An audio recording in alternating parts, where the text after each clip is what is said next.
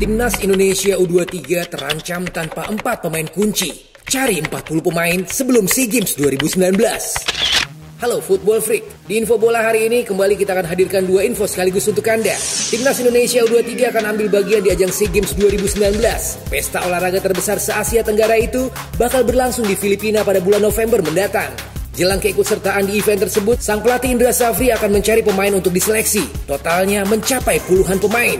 Timnas Indonesia U23 disiapkan untuk SEA Games. Pendaftaran terakhir pemain 2 September. Saya sepakat dengan PSSI dari Mei hingga Agustus untuk mencari 40 pemain. Dari 40 pemain itu, saya sudah punya 23 pemain yang tampil di kualifikasi Piala Asia dan Piala AFF lalu. Jadi kita butuh tambahan 17 pemain itu. Demikian kata Indra Safri. Rencananya Indra akan kembali menggelar pemusatan latihan dan seleksi pada bulan depan.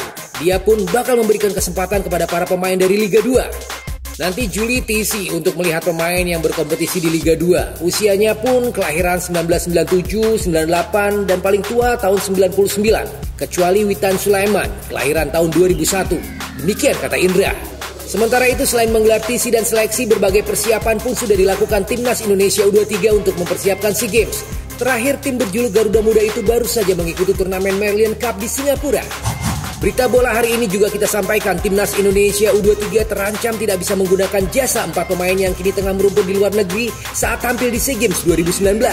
Keempat pemain tersebut adalah Egi Maulana Fikri, Sadil Ramdhani, Esra Walian, dan Firsa Andika. Hal itu dikarenakan SEA Games bukanlah ajang resmi FIFA dan AFC. Oleh sebab itu, bila berkaca dari SEA Games sebelumnya, para pelatih kerap kesulitan memanggil pemain yang bermain di luar negeri. Tidak ingin kejadian serupa terulang kembali, pelatih timnas Indonesia U23 Indra Safri mengingatkan PSSI untuk memastikan apakah keempat pemain tersebut bisa memenuhi panggilannya. Dia pun berharap ada kepastian dari jauh-jauh hari. Itu kan nanti bisa menjadi hal yang harus diselesaikan dari sekarang. Apakah nanti benar-benar mereka itu bisa bermain di SEA Games atau tidak? Jadi jangan nanti satu minggu atau dua minggu baru ada kejelasan. Semoga pemain yang benar-benar sudah saya anggap sebagai pemain rangka tim nanti harus diselesaikan dari sekarang. Demikian jelas Indra Safri.